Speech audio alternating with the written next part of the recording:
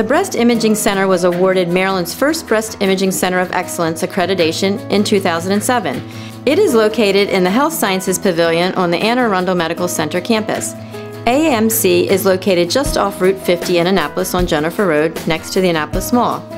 Free parking is available in Garage E.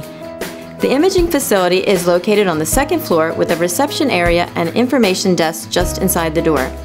Services available include digital mammography, ultrasound, ultrasound biopsies, breast MRI, bone density testing, stereotactic needle biopsy, and MRI guided breast biopsy. For more information, please visit our website shown on the screen or call this number